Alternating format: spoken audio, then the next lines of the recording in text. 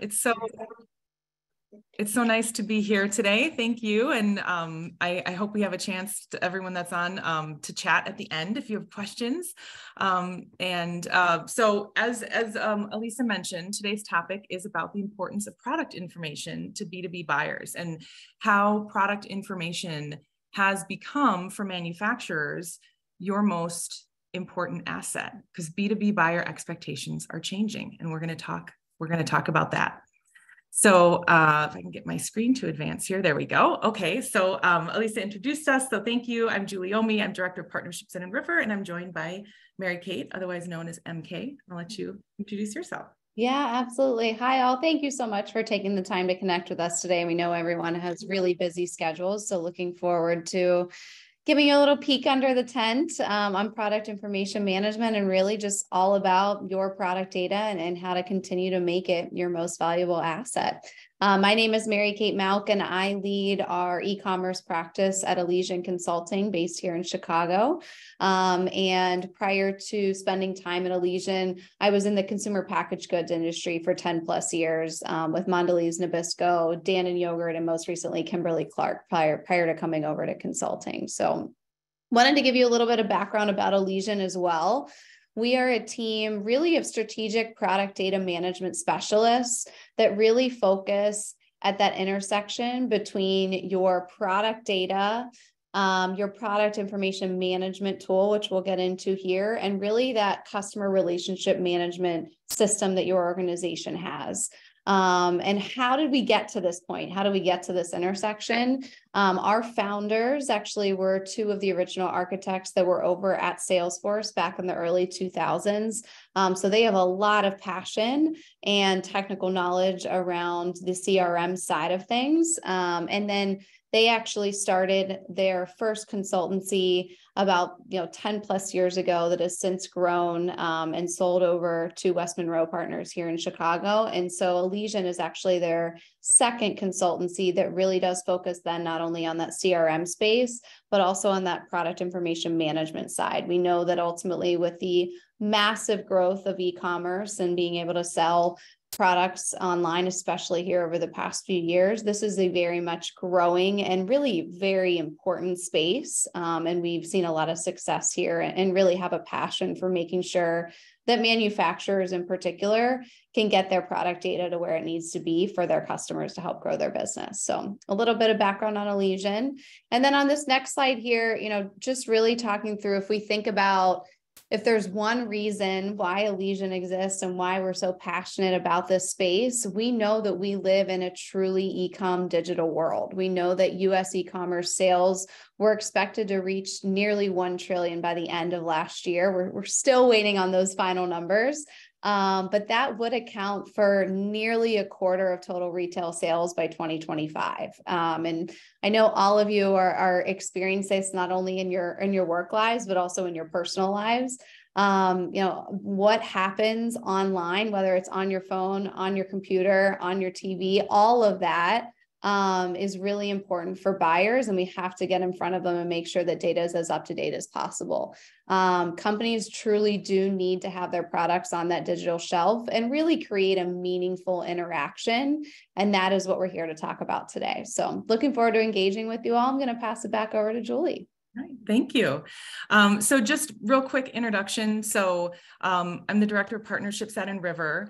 Um, prior to being at InRiver, I was um, also a consultant, um, much like MK is now, um, you know, working with brands to help them understand their e-commerce strategy, channel disruption, customer retention, things like that, really with a focus on B2B. And now I'm at InRiver, which is a product information management tool um, that is really uniquely built for manufacturers to give them a single source of data, product data truth, um, which allows them to manage, manipulate, and publish product data to all, all selling channels.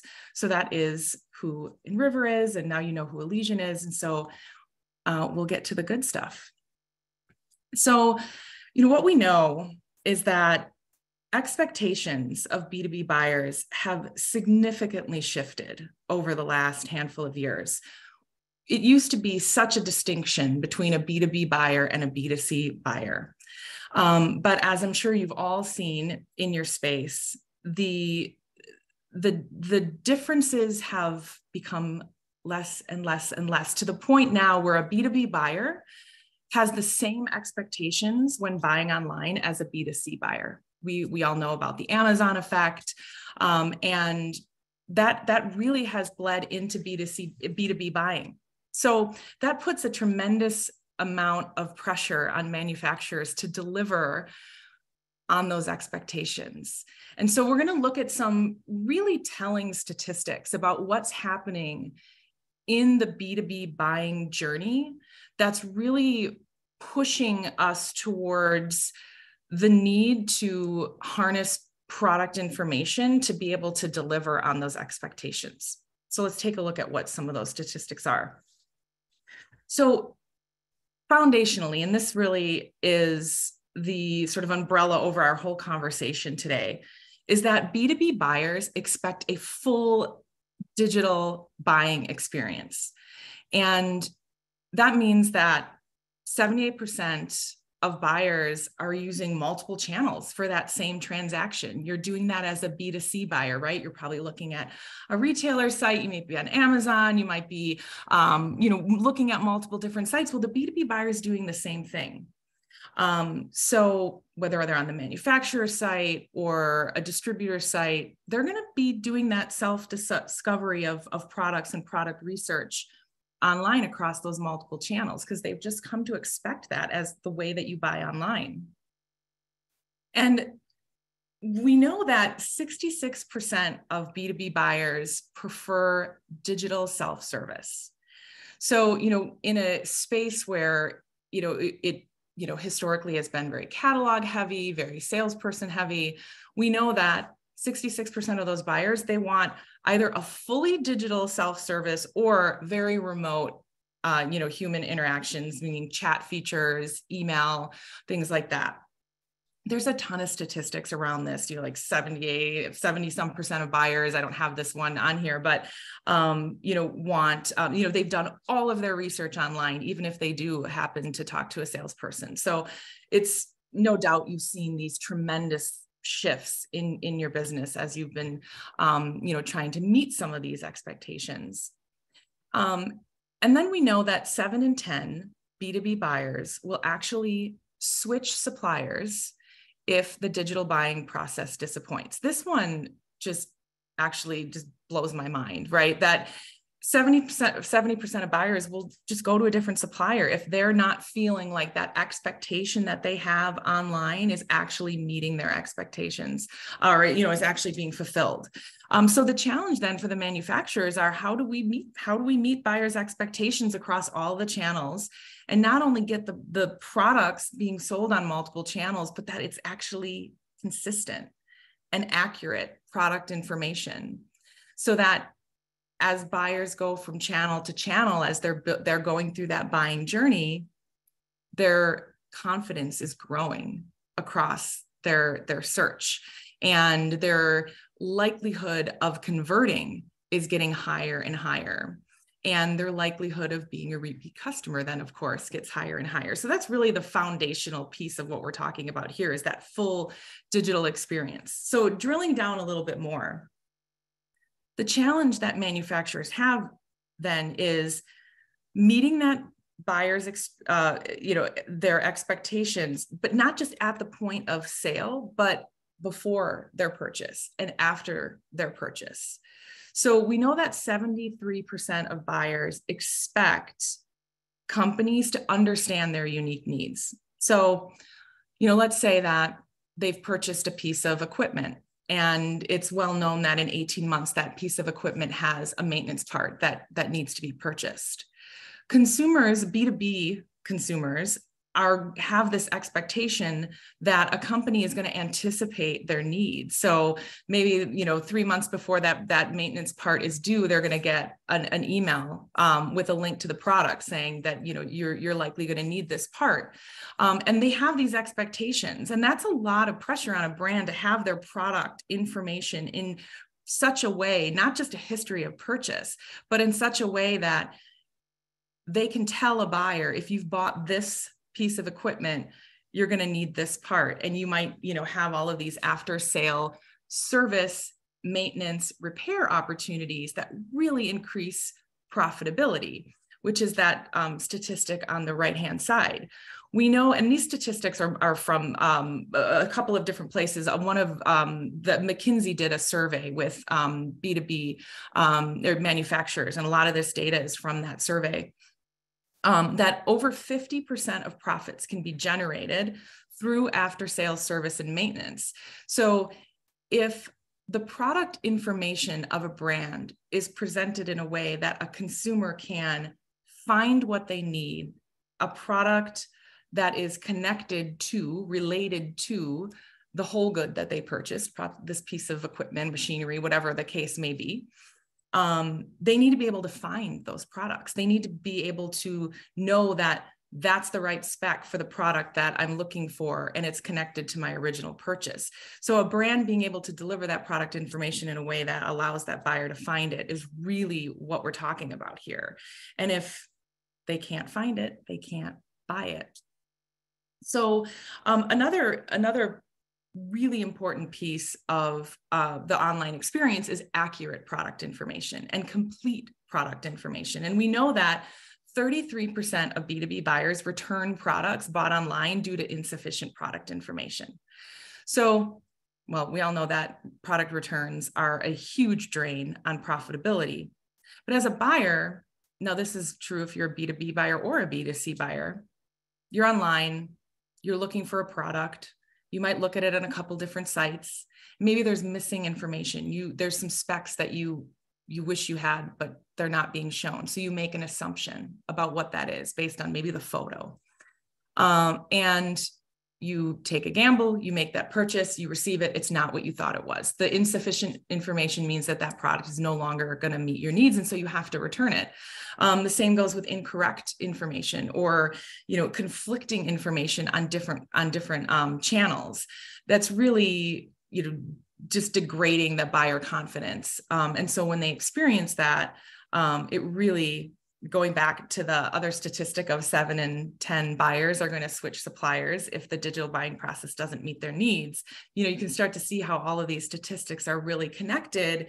And what it's telling us is buyers, B2B buyers, are really dependent on a robust, comprehensive experience online with product information.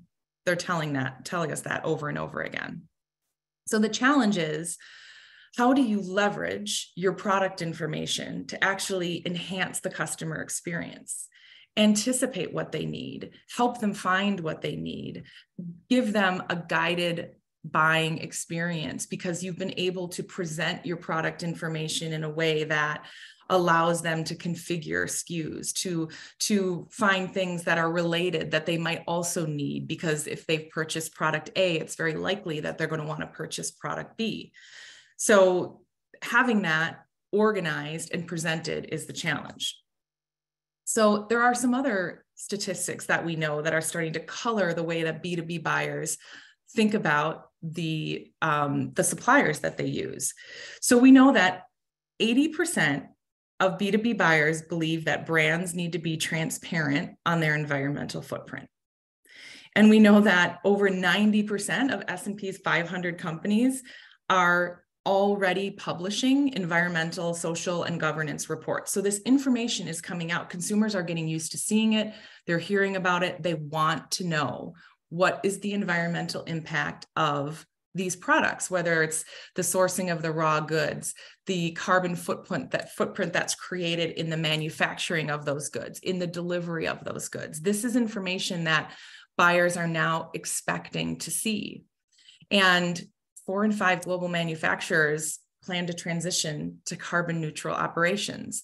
Now, we know that there's a much more advanced push for this in the EU, um, which probably colors that statistic. It's probably pretty different here in the US, but the point is that it's changing and evolving, and buyer expectations are growing in this area. So the challenge then is how do you present that information to a buyer knowing they're going to be buying on multiple channels and they have this expectation of robust product information and an expectation of this sustainability um, transparency.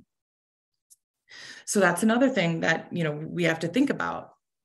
And then the, lastly what i'll talk about here is the technology um, the needs the, the, the technology that is able to support the delivery of this so we know that in order to harness the power of your data, you need to have systems, process, technology in place that allows you to actually deliver it to the buyer, to the channels, to the retailers, to the distributors, wherever you're selling it.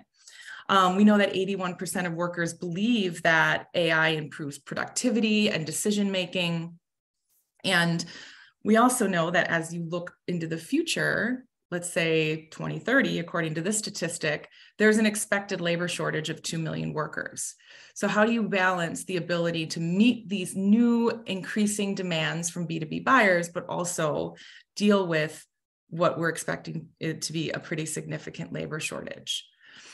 And we also know that less than 40% of manufacturers are actually using product information to deliver a customer experience online that actually um, increases conversion, that builds confidence, and that that leads to a repeat customer.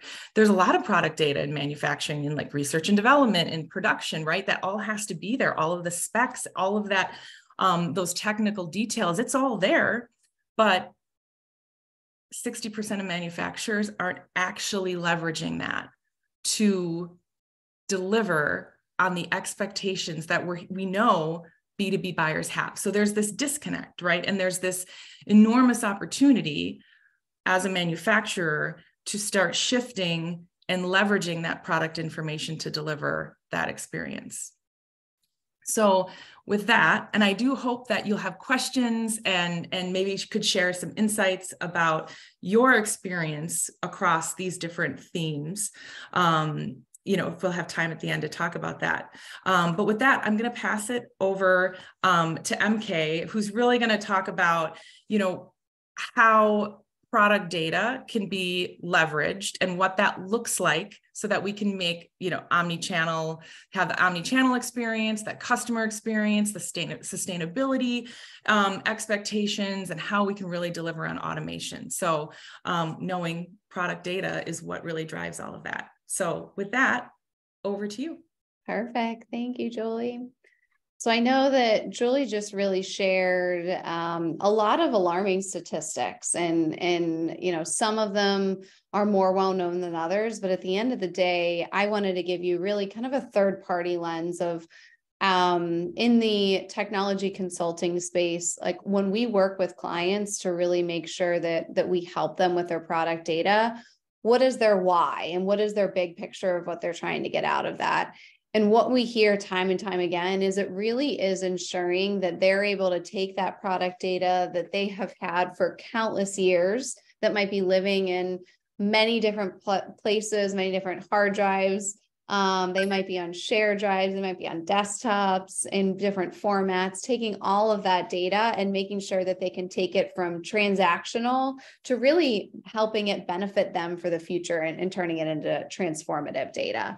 Um, and, and one thing that Julie and I wanted to point out here is you see these five pictures across um, this screen here, six pictures for you here. And, and these were actually chosen on purpose. Um, if you look on the left side and you're really seeing that windmill from, from its infancy, from, you know, working with the original architect to design it, and then all the way over into getting work done um, you know and building it. And then you know 5 10 20 years down the line it might need to be serviced. And what does that look like? And you think about all of the different people literally probably hundreds if not thousands of people that are touching this one product throughout its entire product journey And you think about in an organization, how many people it takes to really roll out innovation, roll out new products, get all of the specs, all of the description, all the pricing, all of that ready to go. Um, and how having that in truly one source of truth can really be incredibly beneficial um, and aligning all that those processes up.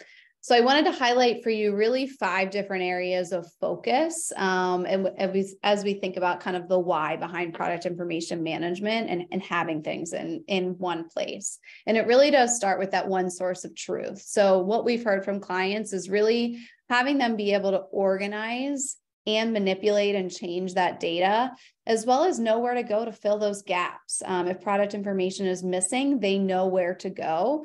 Um, and then also to be able to connect relationships across SKUs. So, one thing that InRiver really allows you to do is to be able to have um, when you're updating one parent product if you want some of those attributes to be able to trickle down um, to other parent to other products that might be under it you're not updating all of that data in say 100 different skus. You're only updating it with the parent and then that information trickles down through inheritance which is really neat. So really having that one source of product truth is huge and then also making sure that that data is accurate. Um, you know, it, we hear time and time again working with various manufacturers who then have various suppliers, various retail partners, et cetera, that having that data accurate in one place is huge. And you know that that information is then complete when you're able to send it to distributors the collaboration that can happen inside InRiver is incredible. Um, and, and I know from my time working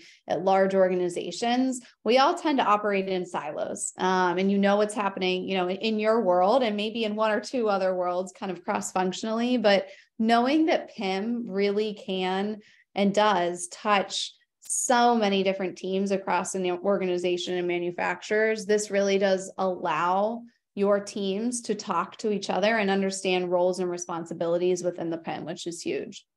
And then you also have the opportunity to integrate PIM and InRiver across your tech stack. So integrations are quite common. If we think about, you know, whether it's CRM, or ERP, or you might have a translation site that you're working with, um, or you you know may have different areas of your tech stack that might need to talk to InRiver and to PIM. That's another area um, that we also focus on as well.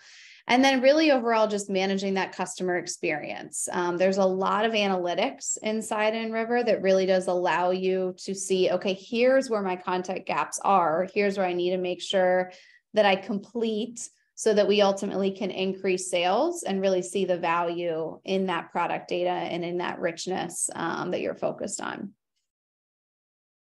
And then also just wanted to give you a peek under the tent here on the next slide is really, you know, the why um, behind PIM. And, and at the end of the day, it really does make sure that we have data integrity. Um, and we hear this time and time again when we talk to various clients about you know why has this project been successful for you or why is this implementation so important?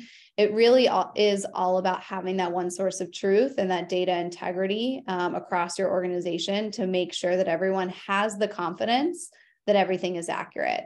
Um, and when you have the confidence internally then you know that your buyer is feeling that much more secure um, about your product. So at the end of the day you know when julie was talking earlier about just all the statistics of if a if a buyer is not having a great experience it's just one click of a button and they're going to go somewhere else and so when they have that confidence and that great experience um, with your products they're going to continue to return um, which then just leads to the higher conversion and making sure that they're coming back time and time again with that customer retention.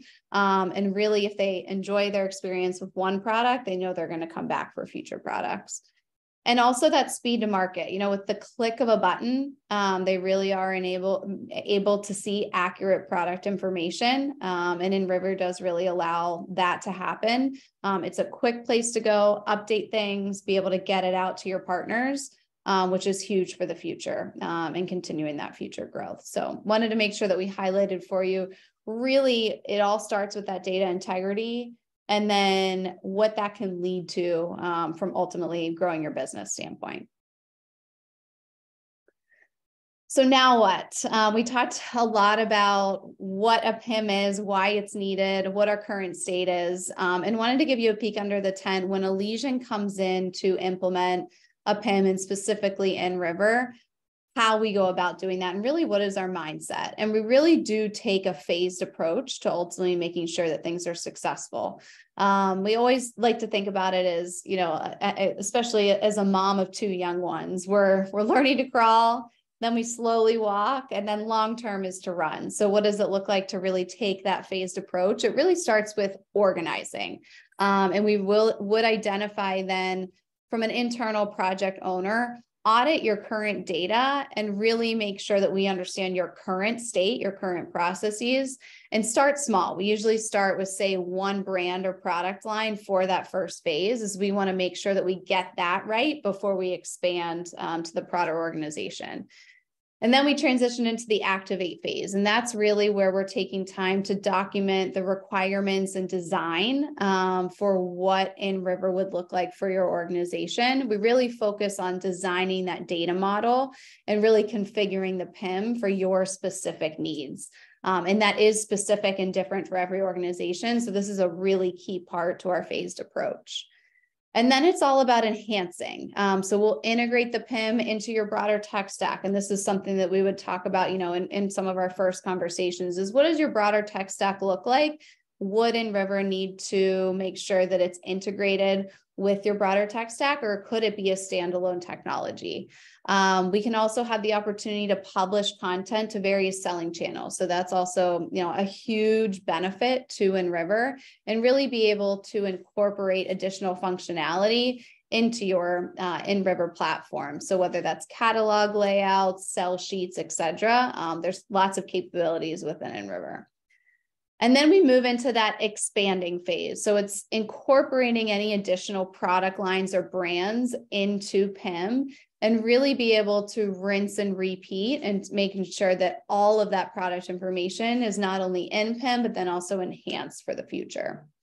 And then that's really where we get to that optimized phase. So we're able to activate what we talked about a little bit earlier in the digital shelf analytics side of things within InRiver to really make sure that we're monitoring how products are performing on your digital shelf. Um, and think about any other selling channels or product data that we want to make sure that we get in there to really increase conversion. And we're re- always constantly refining and thinking about, okay, how can we improve these processes and iterating for the future? It's all about increasing conversion and really thinking through that customer experience for the future. And know, I would add here, I think that when you, if if you're at phase, you know, at, at ground zero right now with really having your arms around product data, if it's living in spreadsheets, if it's really siloed across the organization, it can feel super overwhelming. How, where do you start?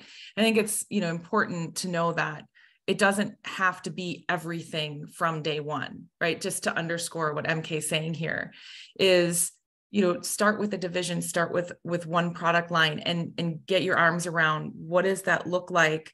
Um, what is the process for um, actually getting those products to market? Um, and then when you can get some quick wins get that going it it builds adoption it builds confidence. Talk about buyer confidence right? How about like you know team confidence internally when you can see um, what that does um, and how it works? It's easier to you know grow and and add um, add use of that and, and really get that adoption internally. So it doesn't have to be as overwhelming as it sounds when you think about it. Absolutely. We always think it's funny when we um, start some original conversations with clients though they're they get a little like shy about talking to us about like their current state and and at the end of the day we hear a lot of things and see a lot of things and um, you know that's why we're here to help. Um, InRiver exists for a reason. There there is a major need out there for manufacturers to wrap their head around this. It's an incredible platform to be able to help have that one source of truth and really get that data out to where it needs to be. And Elysian is just here to help along the way and really be able to implement that technology to make sure that we're holding your hand and all rowing the boat in the same direction to, to achieve your goals. Yeah, and uh, that really concludes um, our content for today. Um, we would love to know what questions you have. We can flip back to some of these other slides to talk about some of these statistics or things that you're hearing um, in the marketplace from your from your buyers and the things that you're experiencing. So drop questions in the chat, unmute yourself, and let us know what you're thinking.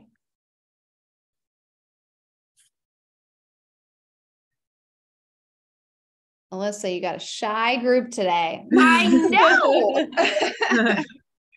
I mean, I yeah, I mean, well, I'll ask you guys: Are you feeling like you're seeing these demands? I mean, do that when you when you see these statistics, are you sensing um, that you know your buyers are are driving you know these expectations on your business as well?